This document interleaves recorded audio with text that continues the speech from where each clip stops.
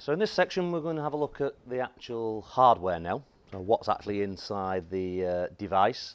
So we're going to have a look at the hardware architecture and then we'll have a bit more at the power side, so we'll have a bit more at the PMIC side of the uh, device as well, so the separate chip. So for the hardware itself, traditional MCUs, which is what ST's been um, developing and creating for many, many years now, everything's embedded inside one physical chip. So the RAM, the flash, and all the power control for the regulators, power in the memory, things like that, has all been embedded in one chip. For the MPUs, it's all slightly different. So your flash is external, your DDR is external, so you have some so much SRAM internal, but most of everything's are done in the DDR, and you have the, this external power management IC, so the PMIC. The architecture has sort of evolved a lot more compared to the MCU world that we're very familiar with within the ST. So the block diagram, so we've got our dual core A7, so this is for the 157 device, so the, the largest member. So we've got our dual core A7 with the two types of cache, so you've got level 1 cache and I think level 2 cache inside there. They sit as a separate block. Another separate block is the Cortex M4 side. So that again has its own memory protection unit and floating point unit. So it's a standard Cortex M4, can do all the DSP extended architecture, things like that, with the floating point math. So you can use the M4 for quite a lot of um, functionality inside there. And over on the right, we have all the graphics. And providing the memory for all that is sat here in the middle of the uh, diagram. So you've got the DDR3s, it's standard DDR3 or LP DDR. And then we've got all the internal memories. So the system SRAM, the MCU SRAM, the backup SRAM, things like that. So there's lots of internal RAMs inside the device that are segmented for different functionalities. So each of them has its own particular item to do inside the device. As it is an ST product, so it's an STM32 product, all the control and connectivity that you expect around an STM32 microcontroller is also in this device. So down here we've got all the timers, so you've got 32-bit timers, 16-bit timers, advanced motor control timers, all those are still inside the device. We've got our analog cell, so you've got ADCs running at 3 megasamples a second on 22 channels. So again, you can do lots of analog functions. You've got DACs inside the device. So again, all the functionality that you would have had on the M4 is still available on the M4 that's built in here or the A7, depending on what you want to assign it to. For connectivity, as you can see, this is a very large block. So you've got all the standard STM32 connectivity, so SPIs, I2Cs, UARTs, Ethernets, USBs. Uh, but some of the peripherals have been advanced because of the performance you've got. So we're now on gigabit Ethernet inside the device rather than standard 10100 on all other STM32s. You've got the USB hosting functionalities. So you saw it's on the board already. So you've got the four USB ports there as hosts. You've still got the standard OTG device inside there, so for full speed and high speed, but you've got the hosting abilities inside there. And you've got a lot, a few more other higher speed, higher performance peripherals. Um, so the MIPI DSIs, the camera interface, the HDMI controllers, all those extra pieces are inside the device. Connecting all this together, as you can probably gather, is quite a bit of a task internally inside the device. So we have two different memory buses inside. So we've got a high-speed AXI bus, which is the pink line, and then we've got an, a slightly slower speed AHB bus. As I say, there's not much difference in the speeds. As Chris highlighted earlier, each peripheral can work with both cores. The reason we've segmented it like that is certain peripherals are more optimized to work with the A7 and some are more optimized to work with the M4 due to the nature of each peripheral. So it's, it's been separated out a bit. But as you can see, there is two connections at the top here. So if you do want the Ethernet working with the M4, you can do. So it can be routed through the connections there into the M4. All right, you won't get gigabit Ethernet, but you can still have standard 10100 Ethernet running with the Cortex M4 inside the device. For system and security, so these are the two sections I missed out on the um, block diagram earlier on. You've got all your standard clock control that you'd expect. So you've got internal RCs and the ability to put external um, crystals or modules inside the device. You've got the different power modes. that you can put the device into, so there's a lot of power control still going on inside the device. And you can still have external interrupts, so be it either onto the A7 or the M4, you can have external physical interrupt pins going into the device. So that part is pretty much the same as the M4 side, but available to the A7 as well. DMA wise, so there's multiple DMAs. So we have a master DMA, which is more associated to the A7, and then we've still got the standard DMA1, DMA2, which is more familiar if you've done anything with Cortex-M based devices. OTP fuses, so if you want to store uh, MAC addresses, serial numbers, version numbers, things like that, so we have some OTP fuses available for you. They are used for other features as well, so some of them are for user functionality. So we'll highlight some of those uh, later on, where you can put certain items in to configure part of the system. But other, item, other parts of the OTP fuse is available for you to program. And on the security side, first one is the extended trust zone, so which is part of the A7 and provides the protection and access to certain peripherals only and a particular method of accessing those peripherals. So if anyone tries to hack into your system, tries to jump into somewhere that's secure in the memory, then if you've not followed the correct entry procedure and things like that, it'll generate a reset or an error message inside the system. So for the basic security, you've got the OTP fuses where you can secure items, you've got the electronic signatures and things like that. Tamper pins, so I think you've got up to three tamper pins on this device. And the tamper pins will protect what you store in the backup registers and you can also generate in arrays for the backup SRAM, which I think is the 64K part, I think. No, that's retention RAM. Sorry, retention RAM is 64K, backup RAM is 4K, and there are some backup registers that are dedicated. So if you've got cryptography keys installed, you will save them in the backup registers, which are automatically erased when a tamper happens and other vital information you will store in the backup RAM, which can be erased. It's your choice. You set it up to erase the backup RAM if a tamper detection goes off. And then if you send in outbound transmissions, you've still got the standard cryptography AES uh, 128256 available to inside the device. So the memories. So as I said, there's um, a section of internal memory, and most items happen in the external memory. So the boot ROM is programmed by ST in the factory. So you can't influence that at all. It's hard coded inside the chip. This is 128K and will get your device up and running. So it does some basic functionality to configure device. In association with the boot pins, which we'll show you later, I'll show you what the boot ROM's capable of doing. Then you've got the SRAMs. As I said, it's all segmented into different areas.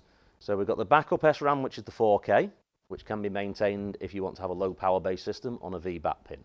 You've got the retention RAM, this is 64K.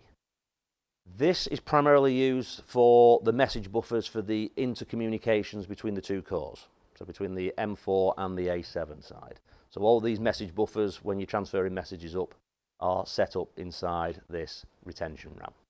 Then we've got the system RAM, which is 256K, so that's for the uh, use of the A7 side. And then you've got the rest of the SRAM, the 384K, that's for the use of the Cortex M4 for your code and your data. So the M4 has no flash. It's all run out of SRAM. So that's all part of the 384K inside there. So you can see there that all these memories can be accessed by all the cores, with the exception of the M4 has no access to the boot ROM. So the A7 has to boot first, not the M4. Then off-chip memories. So you've got your DDR, which is your standard interface. We highlighted that you can connect it to the M4, but we're highlighting there it's not recommended. You will get a performance penalty on your A7 if you try and use your M4 to read things from the DDR interface. Mainly because you have to slow it down so much for the M4 to actually do the read. So it runs too fast. Then you've got all the other memory interfaces, so MMC, Quad SPI, and external memory bus, so FMC for NOR and NAND flash. So all of these can be used for any of the cores, Again, we don't recommend doing execute in place for things like the Quad SPI for the M4 again, because it's again it will slow the performance down of the A7 if the A7 is using the Quad SPI interface as well. So, but it can be used, but not really for execute in place. For the DDR, depending on which package will depend on which type of memory you can use. So if you're on the two larger pin packages, you can have a 32-bit interface DDR.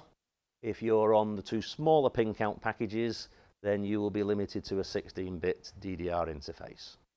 So again, as Chris highlighted, depending on which sales type you use, which board layout you use, will also govern which type of DDR chip interface you can use as well. Memory map for the MP1, it's ARM standard layout. You've got up to, um, what was it, X amount of gigabytes, so up to FF, FF, FF, FF. All the peripherals are dotted around. SRAM is down at the bottom, around 2 million hex, or 20 million hex. Uh, the boot's right down at zero. And then each of the peripherals are in their normal defined areas that ARM have um, quantified of where certain types of memories have to sit in the address range. So there's no different there. It's all uniform addressing for all the areas. So there's no remapping going on. There's just a split there between which core can see what uh, down at the bottom, but everything else is in uniform mapped and that. So the power side. So for the power side of the micro, there's a lot of power pins on the MP1, all of them powering different parts of the circuitry. We've got three real mandatory supplies. So you've got to provide a power for your VDD to DDR. So this is internal to chip, not to the memory. This is the voltage that your DDR is going to be running at. The micro also needs to know what voltage that memory is running at. So the same voltage to your DDR chips has to also come inside the microcontroller. Then we have the voltage for the core, and it's providing uh, all the power to all the core domain. And then we have the main voltage, which is providing the rest of the device, like the I.O. rings, all the peripherals and things like that. So they're the three particular voltages that you have to specify into the device. As I said, there's lots of other voltage pins, so there's analog pins as well that will need the voltages. Most of those will be the same as the standard VDD but you have the option of changing VREF plus depending on what type of analog signals you want to uh, try and measure externally with the device. And inside you've also got different power domains. So we have the core domain, the main VDD domain, the switching domain, so when you're switching from VBAT to battery backup, and back to mains again, and all the analog side of things. So these are all the elements that you have to worry about when it comes to powering the MP1. So you've got two solutions. A lot of the time, it'll be application dependent on which of these solutions you're going to go for. So if you're on a very simple project that's just got a NOR flash, DRAM, and the micro, you might decide discrete power is probably still the most efficient, most cost sensitive way to go. So you've only got to generate three rails for the device. You don't have to do much playing around. You're not plugging in lots of other items into your target board. So discrete will be the way around. For pretty much all other applications where you've got USBs, um, displays, other heavy um, interfaces like Ethernet, Wi-Fi, things like that, then the PMIC will save you a lot of time. So inside the PMIC, we have all the different power controllers for the MP1 and then we've got lots of other LDO to power all your periphery devices. So if you're plugging lots of USB devices in and powering those USB devices, you'll need some power switches, things like that. If you've got the DDR memory, which is powering there, you also power the DDR. And then if you want to power the Ethernet PHY, things like that, you've got lots of other LDOs down there to power different items on your target board. And all you do is put in a 3.3 to 5 volt supply into this PMIC and it will manage the rest. When it comes to low power modes, remember you have a communications channel between the micro and the PMIC so you can shut things down inside the PMIC if you do need to go into power saving modes. So, so you've got nice flexibility and control over what the PMIC's doing. So internally, you have all your power regulators powering the device. So powering the supply into the DDR and then also powering the physical DDR chips externally. And then inside here, you've got the power management, which is powering all the particular cores inside and then sending some control information back to the PMIC to uh, balance things out, switch things off as you see fit inside. So for power modes, there are multiple things to think about.